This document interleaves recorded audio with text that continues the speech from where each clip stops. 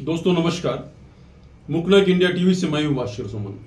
दोस्तों, आने वाली 12 अक्टूबर को, यानी 12 तारीख को धम्म चक्र प्रवर्तन दिन बड़े ही उत्साह से मनाया जाने वाला है। और इस मौके पर दीक्षा भूमि पूरी सज धज कर तैयार हो गई है। जो अंडरग्राउंड पार्किंग जो की गई थी, वो गड्ढे पूरी तरह से बुझाए गए, पूरी भूमि अभी समतल की गई है और चारों तरफ़ रोशनाई की गई है। बहुत ही अच्छा माहौल दीक्षा भूमि पर इस साल किया गया है। लोगों में आशंका थी कि ये नहीं हो पाएगा, लेकिन दीक्षा भूमि स्मारक समिति और सरकार, महाराष्ट्र सरकार ने मिलकर अभी पूरी तरह से वहाँ पर अपनी तैयारी शुरू की है और पूरे सज धज कर दीक्षा भूमि अभी तैयार है।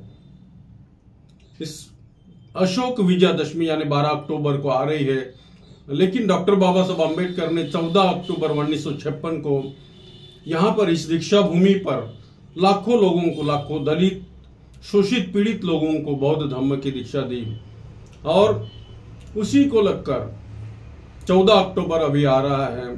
तो 12 अक्टूबर से 14 अक्टूबर तक वहाँ लाखों की भीड़ आपको दिखाई देगी। और इस साल अन्य वर्षों की तुलना में, उन अनुपात में ज़्यादा ही लोग आने की संभावना बताई जा रही है। पचास हज़ार से अधिक लोग इस दीक्षा भूमि पर बौद्ध धर्म की दीक्षा लेने वाले हैं। और उसी को देखते हुए स्मारक समिति के जो सदस्य है, विलास गजघाटे ने नई ट्रेनें, यानी स्पेशल ट्रेनें, जिसको फेस्टिवल ट्रेनें जो है, वो शुरू करने की मांग की है कि हर जगह से, भारत भर के हर जगह से वो फेस्टिवल ट्रेनें चलाई जाए। ऐसी उन्होंने मांग की है और रेलवे मंत्री को उन्होंने अपना ज्ञापन सौंपा है लेटर भेज दिया है उन्होंने कि वहाँ से वो ट्रेनें वो चलाई जाए, यानी 16 अक्टूबर तक। तो दो दिन पहले ही, यानी बारह अक्टूबर के दो दिन पहले ही, यानी 10 अक्टूबर से ही लोगों का आना जाना शुरू हो जाता है। तो उसी को देखते हुए विलास गजघाटे ने, जो स्मारक समिति के सदस्य है, उन्होंने मांग की है कि स्पेशल ट्रेनें, जो फेस्टिवल ट्रेनें दीक्षा भूमि एक्सप्रेस के नाम से चलाई जाए ऐसी मांग की है और हो सकता है कि कुछ ही दिनों में ये मांग उनकी पूरी हो जाएगी। दीक्षा भूमि एक्सप्रेस हर जगह से, हर स्टेट से चलाई जाएँगी और यहाँ पर लोगों का आना शुरू हो जाएगा। तो लोगों को किसी बात की तकलीफ़ ना हो, इसलिए दीक्षा भूमि पर इस साल बहुत ही अच्छी, यानी सुविधाएँ उपलब्ध कराई गई है।